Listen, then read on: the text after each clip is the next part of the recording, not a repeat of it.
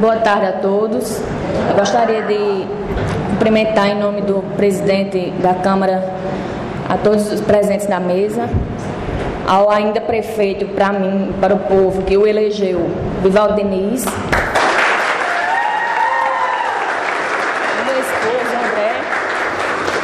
E a todos os presentes.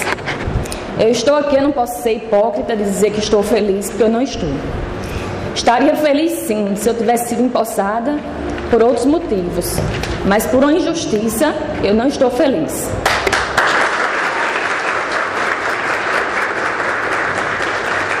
Mas é uma missão que me foi confiada, primeiramente por Deus e depois por vocês que também me elegeram, não como prefeita, mas como vice-prefeita.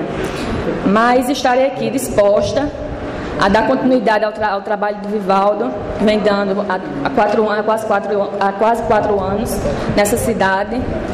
Vou dar continuidade junto com ele, não sentado na cadeira dele de prefeito, mas apenas me agregando ao, ao grupo, à nossa equipe da prefeitura. E darei continuidade com honestidade, com presteza, com humildade e apenas só, só tenho a agradecer a todos vocês que estão aqui me apoiando, agradecer aos meus pais, aos meus sogros, a toda a minha família e um agradecimento especial à minha filha, Maria Sofia.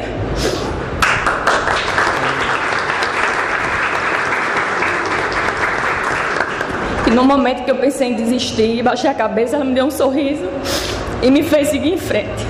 E estou aqui à disposição de vocês para dar continuidade a esse trabalho de Vivaldo. Muito obrigada.